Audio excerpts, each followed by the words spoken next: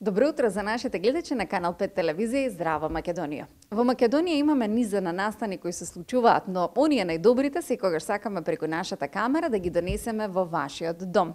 Овој викенд на одредена локација ќе има навистина настан кој ќе е посветен на децата, на сите нивни потреби, желби и верувам дека многу повеќе ќе ни споделат токму организаторите на детскиот саем. Добро утро за Марија. Добро утро Александра. Добре дојде кај нас, овој пат на гости кај нас, за разлика од предходните гостувања.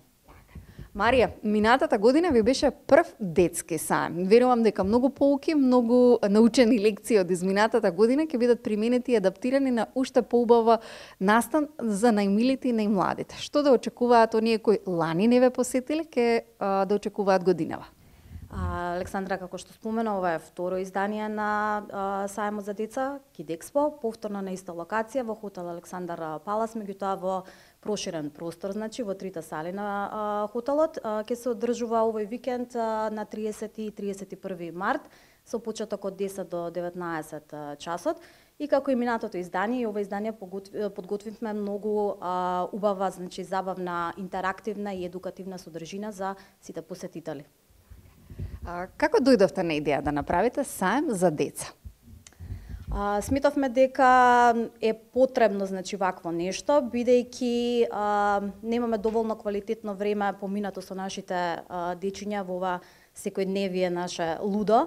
А, така да заедно решивме значи да направиме а, еден сајм каде што целото семејство ќе може да помине квалитетно време, да се дружат, да се едуцираат, дечињата си имаат различни активности, родителите исто така си имаат предавања кои што може да ги слушнат значи а, годинави да научат нешто а, ново од видеата кои што може да ги погледнеме од изминатата недела, изминатата година се воза сноуборд, се скока на трамболини, се имаше многу интерактивни случувања за деца.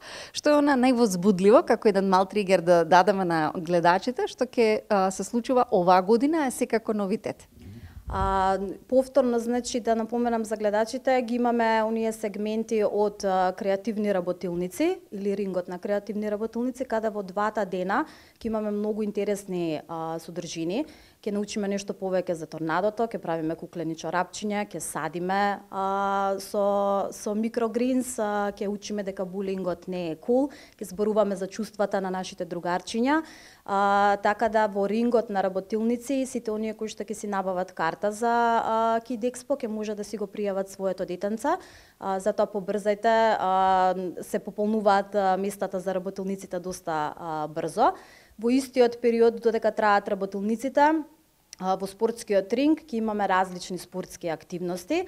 Оваа година имаме нови спортови, имаме и стари од минатата година, повторно ќе бордаме, ќе учиме да играме пикадо, ќе кугламе, ќе ги научиме основите на еспортовите со Македонската еспорт федерација, ќе учиме да играме шах и ќе навлеземе во тајните на боричката вештина джиу-джица, така да ќе биде доста интересно. Додека на големата сцена, постојано ќе имаме програмна за родителите, имаме едукативни предавања, А, имаме исто така музички шоуа, а, имаме, ќе се наградуваме, имаме едукативни квизови, така да дојдете и посетете го Kid Expo, ќе има од се за секого. Многу активности, многу интерактивни активности, верувам голема забава. Која е цената на билетот кој што треба да го платат родителите оваа година? А, цената на билетот е 250 денари а, и онлайн продажба и на лица место во текот на трењето на саемот. А, со тие 250 денари внатре ги добиваат а, посетителите сите содржини а, бесплатно. Меѓутоа, новитет за оваа година е тоа што по завршувањето на првиот саемски а, ден од 20 часот и 30 минути на гости ни доаѓаат тинејџерите. Ги опфаќаме значи и нив оваа година на Kid Expo а, на концертот Бен Jam, значи тоа е концерт со школски и средношколски а, бендови. А, влезницата за овој дел од настанот а, чини символични 50 а, денари и а, сметаме дека а, е потребно во ова време на тинеџерите да им понудиме квалитетна музика, токму создадена од нивни соученици, а, затоа ги покануваме сите да дојдат и да ги слушнат значи бендовите од нашите средни и основни училишта. Така верувам ќе има многу приказни кои ќе може да се раскажат, па отворена е вратата и да ни гостуваат веднаш по сајмот на за деца и да се представат на Канал 5 телевизија како нови тинејџерски бендови. Марија, секоја чест за се она што го правите, ентузијазамот да и натаму а, постои и ве задржува да најубавите настани се токму од Ботега Евент. Ви благодарам многу. Благодарам и на вас и ве чекаме сите на Кидекспо.